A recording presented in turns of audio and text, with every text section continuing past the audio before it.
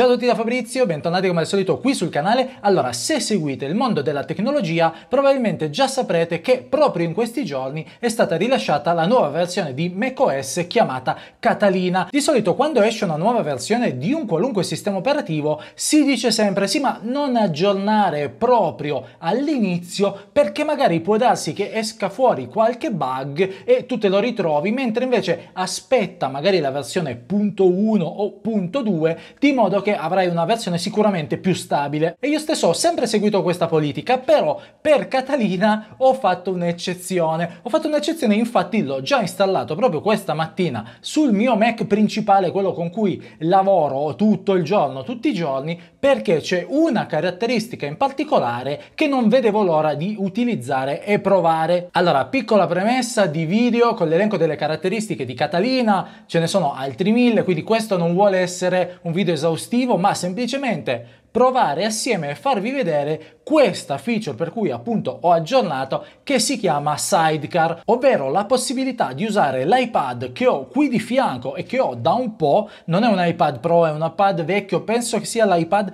di sesta generazione, se non erro, come secondo display wireless del Mac. Quindi praticamente avere due monitor di cui uno appunto è l'iPad e poter trasferire una finestra dal vostro Mac sull'iPad direttamente.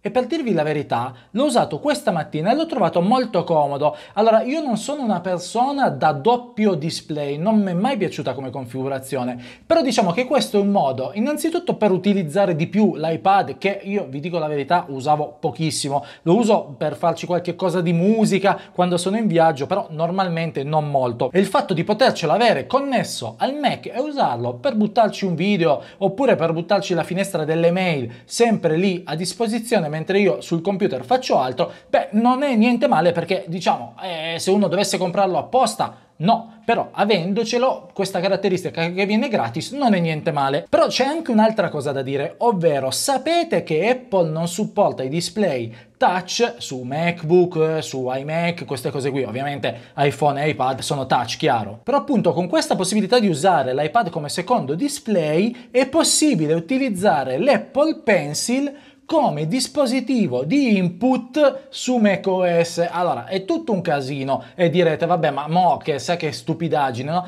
Però effettivamente se utilizzate Photoshop o fate ritocchi grafici o cose del genere, può essere molto molto comodo. Allora, è chiaro che professionisti usano dispositivi dedicati, tipo tavolette grafiche della Wacom o cose del genere, no? Però per chi non fa della grafica la propria attività primaria può avere un dispositivo come l'Apple Pencil che ti permette, quando tu hai bisogno di fare quella volta ogni tanto eh, grafica, di avere un input molto più chiaro, pulito e veloce rispetto a disegnare col dito sul trackpad, che anche per esempio nel caso voi dobbiate firmare documenti, è chiaro che farlo col trackpad è una schifezza. Invece se voi potete usare la pencil per firmare sull'iPad al volo, direttamente, innanzitutto potete firmare ogni volta con la, una firma che è lievemente diversa, quindi molto più verosimile, ma se non altro farlo in una maniera che non sia scritto come è da un bambino delle elementari, ecco. Quindi insomma, con questa scusa ho recuperato un Apple Pencil di vecchia generazione, perché il mio essendo un iPad normale non Pro non supporta la pencil nuova, ma a me mm, diciamo non interessa, la andiamo a unboxare assieme, la metto qui sul Mac che dovrebbe essere ripresa in questo momento e la apriamo e andiamo a fare il processo di pairing e vi faccio vedere contemporaneamente come si può utilizzare appunto su macOS. Allora penso si debba aprire da questo lato qui, inseriamo la forbice, tagliamo la plastichina solita qui c'è la linguetta. Solleviamo. Qui che cosa troviamo? ah qui troviamo la puntina di ricambio e questo accessorio che serve ah, per ricaricarla attaccandola a un cavo di ricarica. Va bene io in realtà la caricherò penso connessa all'iPad quindi forse non lo aprirò questo. Poi niente, manualistica, non ci sono adesivi né nulla, mettiamo tutto qui di lato e tiriamo fuori la pennetta, vediamo come si fa Allora, va bene, questa la mettiamo qui. Oh, che strana sensazione. Pensavo fosse scivolosa o gommatina, invece è lucida, ma contemporaneamente fa un grip bestiale. Cioè, per esempio, non riuscite a tirarla via dalle altre dita, semplicemente così. Bisogna fare forza, no? Allora, per caricare la pencil e farne il pairing, dobbiamo togliere questo cappuccetto che mettiamo qui, nella speranza di ricordarci e non chiudere il Mac poi dopo e disintegrare tutto, accendere l'iPad e poi connettere la penna nella porta Lightning dell'iPad e vediamo cosa succede.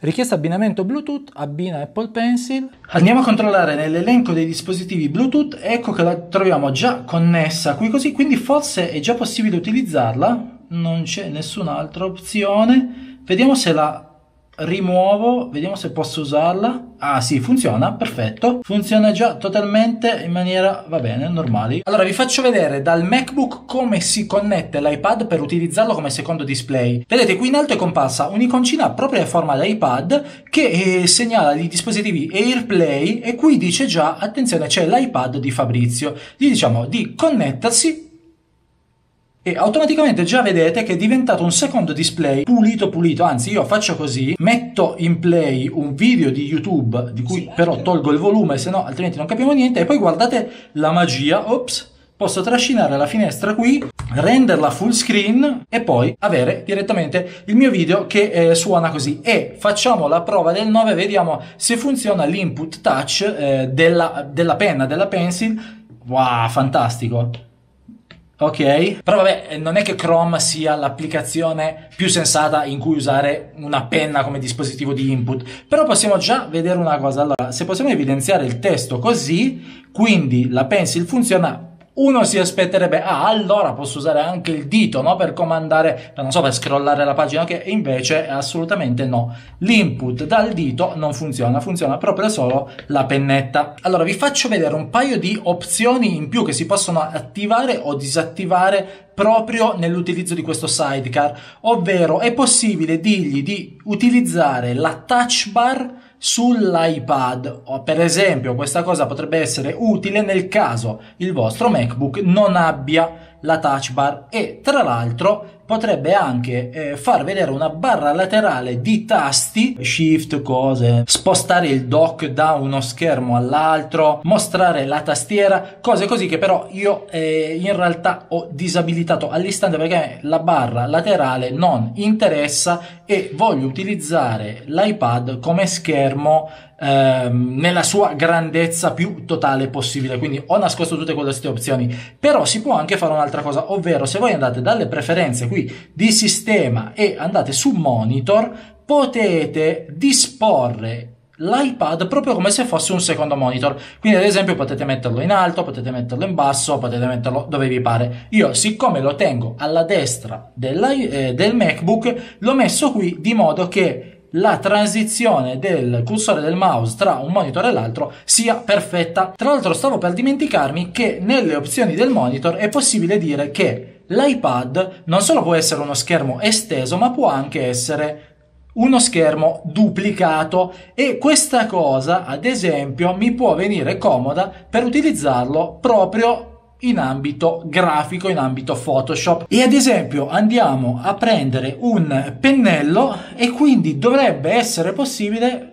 andare a disegnare con la pencil. Vabbè, fantastico. Scusate, allora innanzitutto, eh, vabbè, noterete che magari mi esalto con poco. Allora, c'è da dire che se la metto così molto inclinata non la prende, mentre la prende, beh, mentre la prende solo in certi sette posizioni, vediamo, penso che, non so, ci devo eh, studiare meglio, capire un po' meglio, se volessi scrivere, Beh, adesso questo pennello forse non è perfetto perché è molto soft ed ecco che ora ha senso anche scriverci, no? Bisogna prenderci un po' la mano, ma questo è il senso. Vi farò sapere sicuramente nelle prossime settimane come mi trovo con questo nuovo setup. Se riesco a utilizzare l'iPad effettivamente come secondo display, penso proprio che lo utilizzerò abbastanza. Come dispositivo di input per la penna chi lo sa. Detto questo signori spero che questo video possa essere stato interessante nel senso di trovare magari uno spunto per utilizzare